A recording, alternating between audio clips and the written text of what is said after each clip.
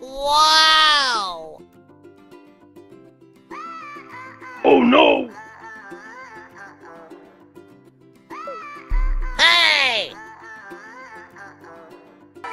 Wow!